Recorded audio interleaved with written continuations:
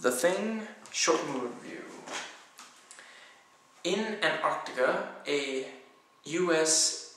research base finds its it must contend with a an entity which can imitate other life forms, and this creates a an incredible sense of paranoia in the crew and it also inspires paranoia in the viewer.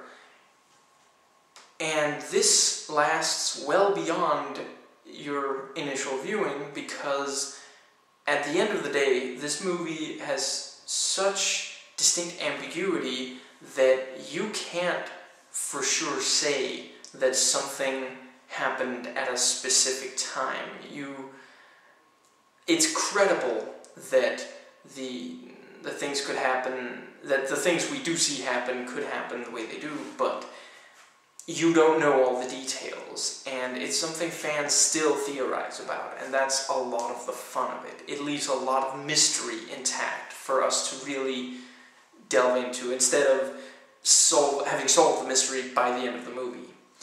The tension is thick like you wouldn't believe, and Carpenter builds atmosphere.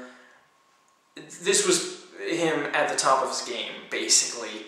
This and Halloween were the best as far as he did as far as building atmosphere, and it really, really pays off. Ennio Morricone's score helps incredibly with that, with a very also nicely building piece. The sense of claustrophobia and isolation throughout make it all the scarier and the pace is really tight.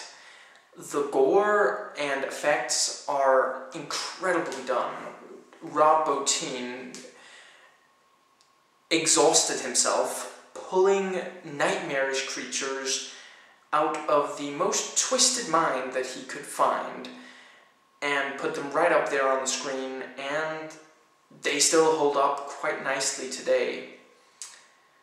The humor works quite well. This has nice character development and it eases it in very subtly.